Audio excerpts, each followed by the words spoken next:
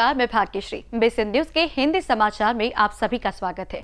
वरनेर के पास पोहना में एक गंभीर घटना घटी है, जहाँ नागपुर से हैदराबाद कंपनी का कैश लेकर जा रहे एक कंपनी के कर्मचारी को लूट लिया गया है।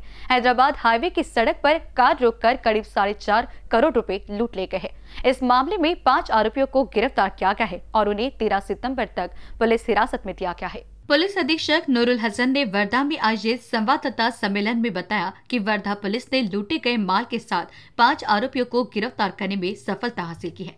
ये रकम गुजरात के कमलेश शाह नाम के व्यक्ति की है। ऐसी जानकारी दी गई है।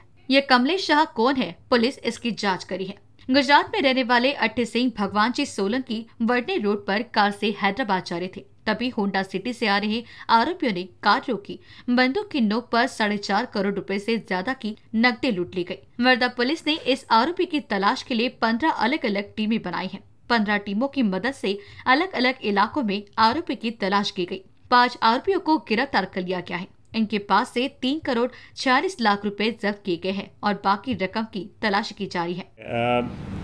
वडनेर पुलिस स्टेशन हद्दीत सहा नौ दोन हज़ार बावीस रोजी पोहना गावाचे जवळ एक डेकोइटी झाली। याच्यामध्ये चार कोटी पन्नास लाख रुपये घेऊन एक माणूस, दोन माणूस नागपूरवरून हैदराबादसाठी जात होते। या गाडीला आधी नागपूरचे काही क्रिमिनल नागपूर सिटीचे काही क्रिमिनलनी इंटरसेप्ट केला. पोहनाचे सो पोहना गावाचे जवळपास यांना इंटरेस इंटरसेप्ट केला. गाडी अडवली. गाडीवर लाल कलरची दिवा लावले होते. तर फर्यादीला असा वाटला की पोलिसांची गाडी आहे किंवा इतर ट्रॅफिक डिपार्टमेंटची गाडी आहे. ते अडवून यांनी जे पैसे चार कोटी पन्नास लाख रुपये होते ते पैसे घेऊन गेले. जे गाडी किया सेल्टॉस जे गाडी होती ते सुद्धा घेऊन गेले. आणि नंतर दहाचे सुमारास आम्हाला माहिती मिळाली की अशी अशी घटना घडलेली आहे. माहिती मिळताच मी माझे वरिष्ठ ऑनरेबल आय जी सरांना इन्फॉर्म केले. आणि बाकी नागपूर ग्रामीण नागपूर सिटी आणि यवतमाळची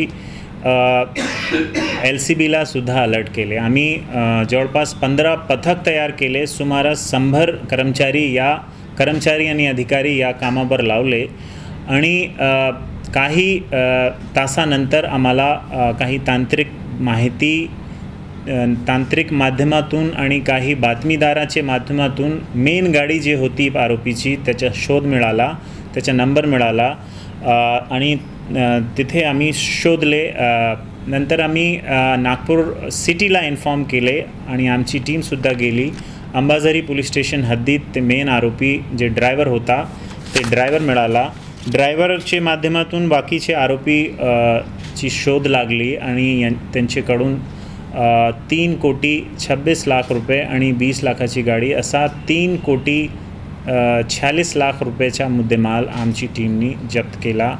या घटना हे पूर्ण घटनामध्ये नागपूर सिटी नागपूर ग्रामीण यवतमाळ आणि वर्धा चारी ठिकाणचे अधिकारी आणि कर्मचारी सामील होते. विशेष म्हणजे आमचे आय जी साहेब श्री शेरिंग दोरजी सर नागपूरचे C P Shri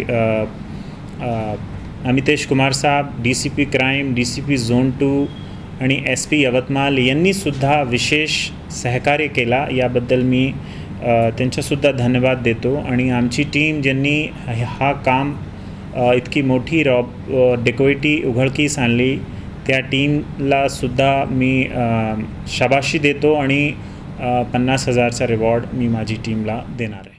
mission news के लिए हिंगन घाट से संत कबीर वार्ड निवासी आकाश राजू पेरकुडे ने नदी में कूदकर आत्महत्या की। वो कश्मीर बत्रा इनके टायर विक्री दुकान में नौकरी करता था। कल साढ़े चार बजे के दरमियान अविवाहित युवक ने स्मशान घाट परिसर के वना नदी के पुल पर से कूदकर आत्महत्या की है। मालक कश्मीर बत्रा, इनकी एक्टिवा मोपेड गाड़ी क्रमांक एम एच बत्तीस ए ए आठ तीन चार सात पुल पर रखकर वहाँ से वना नदी के पात्र में छलांग लगाई। कल आकाश ने मालक की एक्टिवा मोपेड गाड़ी लेकर जाते वक्त घर के लिए किराना लेकर आता हूँ कहकर दोपहर को निकला था। घटना की जानकारी सामाजिक कार्यकर्ता दिनेश वर्मा ने पुलिस को दी है। इस पर पीएसआई मिश्रा पुलिस दल के साथ घटना स्थल पर पहुंचकर जाँच पड़ताल की, लेकिन मृतक का शव अब तक पुलिस के हाथ नहीं लगा है। पुलिस द्वारा मृतक को खोजने का काम युद्ध स्तर पर शुरू है। लगातार की बारिश से नदी के पानी का प्रवाह तेज है और पानी की लेवल भी बढ़ गई है। ऐसी स्थिति में मृतक को तलाश करने की भारी दिक्कत आ रही है। मिशन न्यूज़ के लिए हिंगन घाट ऐसी रवि येनोरकर की रिपोर्ट। ज्योति आधार फाउंडेशन के संस्थापक अध्यक्ष हितेश बंसोड़ ने बताया कि कृषि पदाधिकारी शीतल मानकर ने सूचना दी कि वह औरंगाबाद के कैट नॉट इलाके से सड़क पर एक युवक भटक रहा है। तुरंत महाराष्ट्र के औरंगाबाद पहुँचे और उसे सामने ले गए। बड़े हुए बाल दाढ़ी कटिंग कर उसे साफ़ सुथरा कर स्नान कराया और मेडिकल सेंटर ले गए। उसका इलाज किया, उसका एक वीडियो सोशल मीडिया पर वायरल किया गया और वीडियो सीधे उसकी बहन तक पहुँच गया। उसका एक वीडियो सोशल मीडिया पर वायरल किया गया और वीडियो सीधे उसकी बहन तक पहुँच गया, जिसके बाद उसके परिवार ने बताया कि वह पिछले तीन साल से घर से गायब था। इस संबंध में उन्होंने गुमशुदगी की रिपोर्ट भी दर्ज कराई थी। परिजनों ने उन्हें काफ़ी खोजा भी, लेकिन असफल रहे। उनका नाम जूबी अहमद, उम्र इकतीस साल, शहीद नगर जिला आसिफ नगर, हैदराबाद, तेलंगाना निवासी है। जिन्होंने अपना घर खो दिया, ऐसे कई लोगों की मदद अब तक ही चौथी आधार फाउंडेशन ने की है। उन्हें घर तक पहुँचाने में भी निस्वार्थ मदद की है। इसी प्रकार से औरंगाबाद के रास्ते पर भटक रहे मनोरुग्न जुबी अहमद को सामने थाने में कानूनी प्रक्रिया पूरी कर परिजनों को सौंप दिया गया। परिजनों ने सामाजिक कार्यकर्ता हितेश बंसड़ को बहुत बहुत दुआएँ देकर उनका आभार माना। हिज्योति फाउंडेशन संस्था ने हाल ही में बेसहारा मनोरुग्नों लोगों को रहने के लिए मानवीय छत दिलाने के लिए एक जगह ली है। इमारत का निर्माण कार्य भी जल्द से जल्द शुरू होने के आसार है। इस इमारत के निर्माण के लिए समाज सेवियों से आगे आकर आर्थिक मदद की गुहार लगाई जा रही है। कुछ समाज सेवी आगे बढ़कर मदद करे तो यथाशीघ्र एक मानवीय छत के साथ साथ ऐसे लोगों के रहने खाने पीने की व्यवस्था हो सकती है। यह एक सामाजिक कार्य है और हीत ज्योति फाउंडेशन का कामकाज समाज सेवियों द्वारा की गई मदद से ही चल रहा है, क्योंकि हीत ज्योति फाउंडेशन को सरकार से कोई फंड नहीं मिलता है।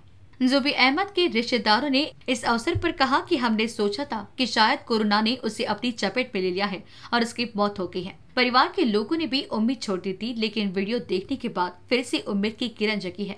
और हम सामने आकर अपने बेटे जुबी को साथ लेकर जाने की खुशी शब्दों में बयान नहीं कर सकते। हितेश बंसोड़ व हित चुती फाउंडेशन की वजह से हमें हमारे परिवार का तीन वर्ष पहले खोया हुआ व्यक्ति मिला है। यह हितेश भाई के सच्ची समाज सेवा का फल है। ऐसे विचार जुबी अहमद के रिश्तेदारों ने व्यक्त किए हैं। नमस्ते, मेरा नाम हितेश बंसोड़ व सावनेर जिला नागपुर, महाराष्ट्र है। ये वीडियो 6 नौ 2023 को हम बना रहे। ये हमको दो तारीख को मिला था। इसको नाम पूछने के बाद इसने खुद का नाम जुबी मोहम्मद, ऐसा कुछ तो भी बताया और गाँव का नाम इसने लिख के दिया है मेहदी पटनम। ये थोड़ा मानसिक मनोरुग्न है। इसकी पहले की फ़ोटो आपको ये वीडियो पे हम भेजते हैं। तो कृपया हैदराबाद मेहंदी पटनम के कोई दोस्त लोग हो तो ये वीडियो ज़रूर शेयर करें, ताकि यह युवक उसके घर तक ज़रूर पहुँचे। ये बहुत ज़्यादा मानसिक मनोरुग्न है इसको जल्दी से जल्दी घर पहुंचाना बहुत ज़रूरी है तो सभी व्हाट्सएप ग्रुप में इसे ज़रूर शेयर करें। घर जाना है आपको? घर जाना है? बोलो। तो अगर आप में से कोई पहचानता होगा तो मेरे नंबर पे ज़रूर संपर्क करें। मेरा नंबर है seven triple eight one six one six double three फ़िलहाल यह व्यक्ति सावनेर जिला नागपुर, महाराष्ट्र में। जय हिंद। इनबीसीएन न्यूज़ के लिए सावदे से किशोर ढूंढेले की रिपोर्ट। हिंदी समाचार में फ़िलहाल इतना ही। ताज़ा खबरों के लिए देखते रहिए बीसी न्यूज़ नमस्कार।